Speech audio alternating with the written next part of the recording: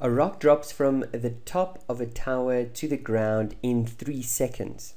Downwards is positive. First question, calculate the velocity of the rock just before it hits the ground. Okay, so here we go. Here's our tower. Let's take the the, the Paris Tower, Eiffel Tower. Okay. Okay. That's an ugly Eiffel Tower. Okay. But imagine we are dropping a rock from the top. Okay. There's someone is hanging over, dropping a rock. That is completely illegal because I'm sure you can kill someone. But this whole journey takes three seconds.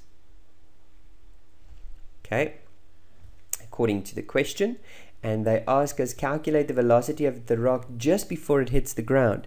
So let's see, what do we do know? We do know that initial velocity is zero, constant acceleration or gravitational acceleration is 9.8 meters per second squared and we are asked, uh, we have the delta t, that's the delta t, we are asked to find final velocity, in other words, the velocity just before it hits the ground.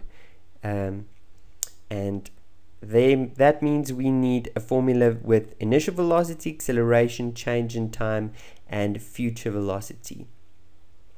And here we go. That's the one. I hope you immediately recognized it. It's a very common one to use.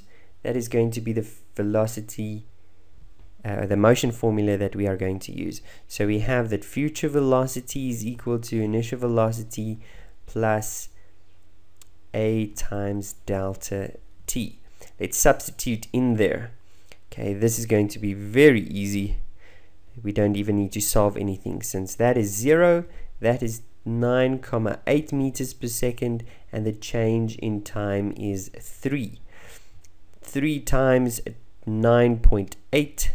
Let's calculate that.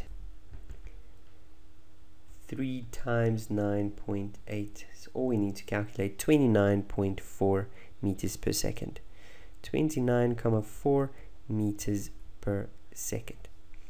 And I'm going to leave it there